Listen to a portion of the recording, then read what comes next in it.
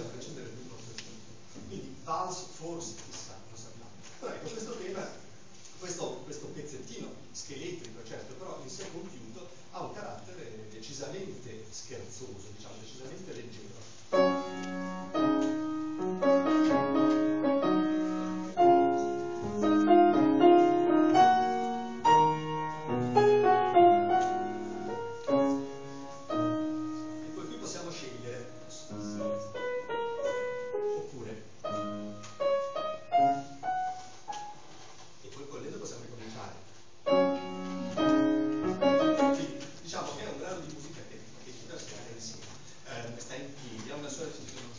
sappiamo che cosa Puccini ne ha fatto, nel senso che poi lo riprende, appunto, no? nella, lo riprende nel terzo quadro, laddove, laddove interviene eh, Rodolfo a raccontare il, eh, della, malattia, della malattia di Mimì.